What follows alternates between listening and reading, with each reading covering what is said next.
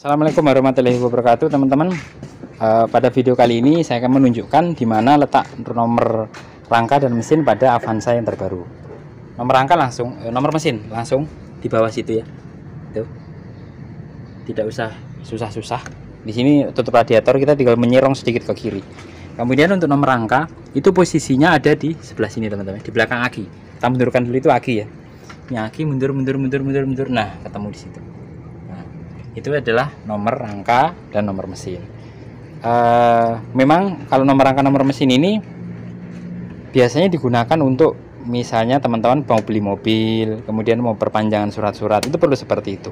Jadi sebuah identitas kendaraan yang tersembunyi yang ini uh, berbeda dengan semua kendaraan-kendaraan yang lainnya.